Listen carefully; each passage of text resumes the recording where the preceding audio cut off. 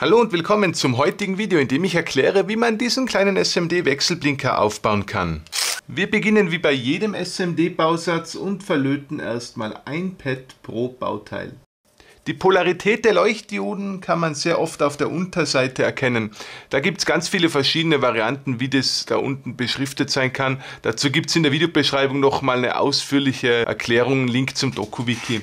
Wir schmelzen das Pad ein bisschen auf, stecken die Leuchtdiode einfach hinein. Schon hält die Leuchtdiode und ist verlötet. Wir verlöten jetzt auch gleich die zweite Seite. Wir nehmen die Widerstände mit 220 Kiloohm. Auch hier wieder erst das Lötzinn aufschmelzen. Die 470 Ohm Widerstände sind die nächsten.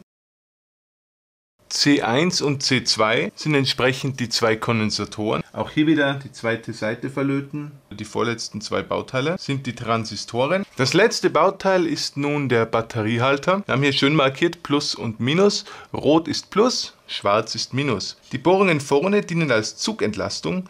Wir stecken also die Kabel durch die vorderen Bohrungen und zwar schon mal ein gutes Stück, damit wir uns leichter tun, drehen das Ganze um und verlöten es auf der Rückseite. Schon ist der Bausatz fertig und kann mit einer Standard 9 Volt Blockbatterie getestet werden. Vielen Dank fürs Zuschauen, ich hoffe das Video hat euch gefallen und bis zum nächsten Mal. Ciao!